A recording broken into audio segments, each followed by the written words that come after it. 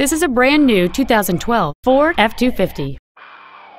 It has a 6.2-liter, eight-cylinder engine, a six-speed automatic transmission, and four-wheel drive.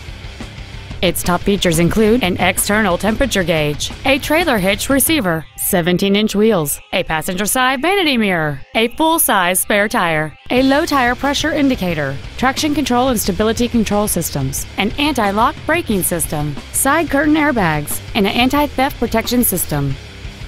We invite you to contact us today to learn more about this vehicle.